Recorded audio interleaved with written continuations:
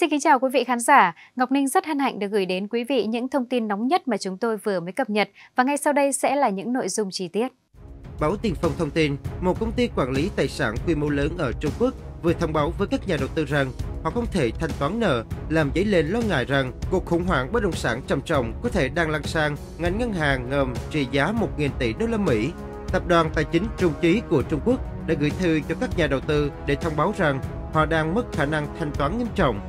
Trong thư, hãng có trụ sở tại Bắc Kinh cho biết quy mô nợ của họ rất lớn với tổng khối lượng lên đến 460 tỷ tệ, 65 tỷ đô la Mỹ, trong khi tài sản là 200 tỷ tệ.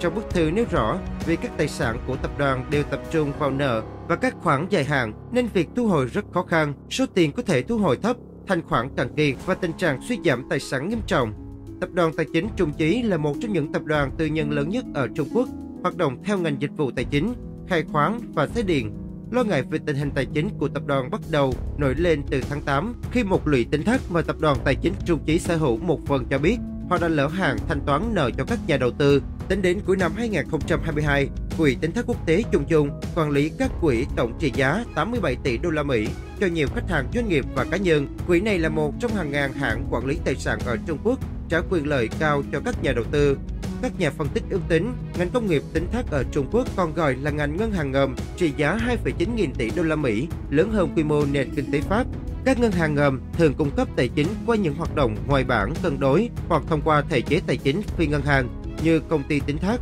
là một bộ phận khổng lồ nhưng bí ẩn của ngành tài chính Trung Quốc, các ngân hàng ngầm gần đây trở thành tâm điểm chú ý trước nhiều nỗi lo về tương lai của nền kinh tế lớn thứ hai thế giới trong bối cảnh khủng hoảng bất động sản kéo dài.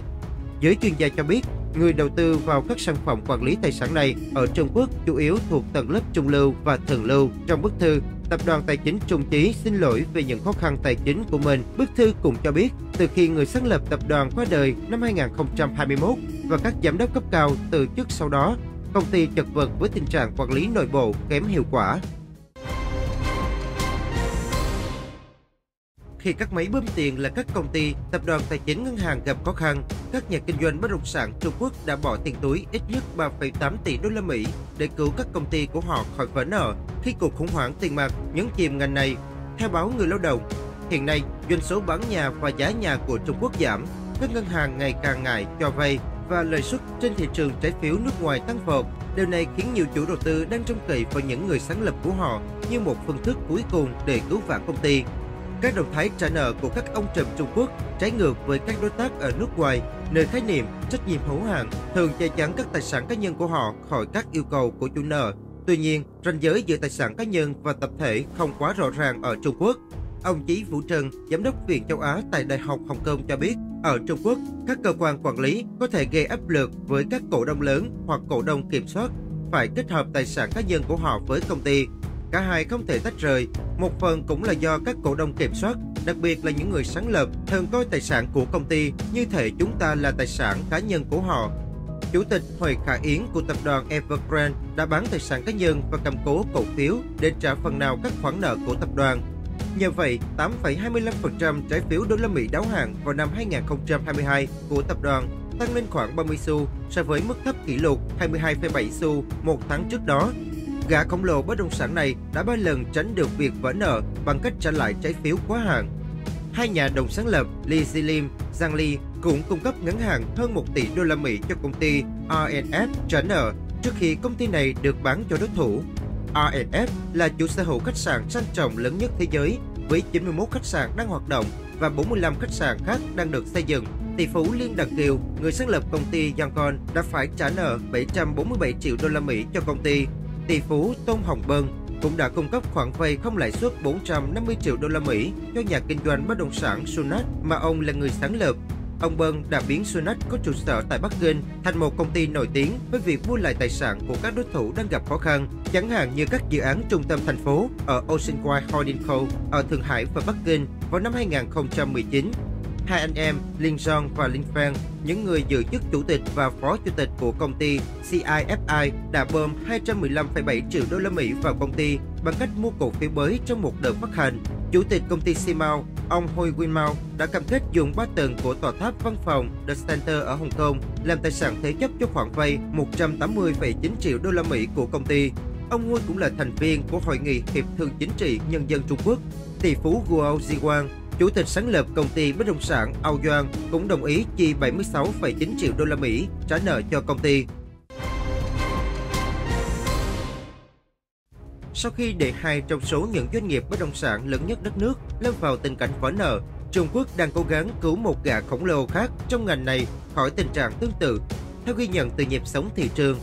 China Van Kiko, công ty bất động sản đang đứng trên bờ vực vỡ nợ tiếp theo của Trung Quốc, bất ngờ nhận được sự ủng hộ mạnh mẽ từ các nhà chức trách tại quê nhà Thâm Quyến. Trong cuộc trao đổi trực tuyến với các công ty tài chính, Ủy ban Quản lý và Giám sát Tài sản Quốc doanh của Thâm Quyến cho biết họ tin tưởng Vanke và có đủ tiền bạc cũng như các công cụ hỗ trợ cho doanh nghiệp này trong trường hợp cần thiết. Công ty quốc doanh Thâm Quyến Metro Group Co, cổ đông lớn nhất của Vanke, cũng cho biết họ không có kế hoạch giảm lượng cổ phần đang sở hữu và đang chuẩn bị mua trái phiếu được giao dịch công khai của doanh nghiệp này vào thời điểm thích hợp. Những tuyên bố này được đánh giá là trái ngược với những động thái gần đây của nhà chức trách Trung Quốc trước viện Evergrande và Country Garden, hai trong số những doanh nghiệp bất động sản lớn nhất đất nước, lâm vào tình trạng vỡ nợ trái phiếu và phải đối mặt với một tương lai không chắc chắn. Các doanh nghiệp này có thể sẽ buộc phải tái cấu trúc mạnh mẽ hoặc thậm chí là phá sản. Khó khăn trong ngành bất động sản ở Trung Quốc đã bước sang năm thứ hai và các nhà chức trách ở cả cấp chính phủ và địa phương đang bày tỏ sự cấp bách trong việc ngăn chặn những tác động xấu từ những biến cố trong lĩnh vực chiếm tới 1 phần 4 sản lượng kinh tế của đất nước. Các chủ nợ của Vanke, doanh nghiệp bất động sản lớn thứ hai Trung Quốc tính theo hợp đồng bán hàng, đã rất vui mừng trước tin này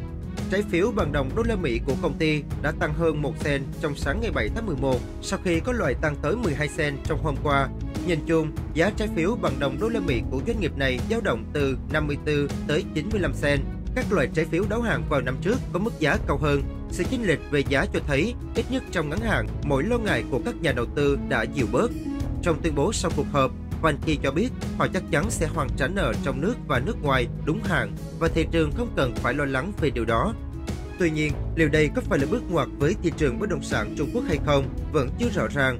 Sự hỗ trợ của chính phủ Trung Quốc thông qua chính quyền thành phố Thâm Quyến đã giúp Vanke khác với các doanh nghiệp bất động sản tư nhân đang gặp khó khăn trong việc tiếp cận nguồn tài chính bất chấp những nỗ lực gần đây của chính phủ nhằm cấp thêm vốn. Trái phiếu bằng đồng đô la Mỹ của Longford Group Holding Limited doanh nghiệp bất động sản hiếm hoi được xếp hạng đầu tư vẫn ở dưới 50 cent. Hiện tại, việc thể hiện sự hỗ trợ với Vanke ít nhất sẽ ngăn chặn một vụ sụp đổ lớn khác trong thị trường bất động sản, nhất là khi Trung Quốc đang phải vật lộn với các vấn đề của Country Garden, Evergrande và một loạt các nhà phát triển bất động sản nhỏ hơn.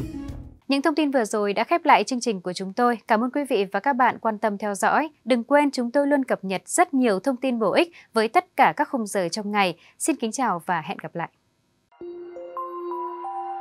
Thank you.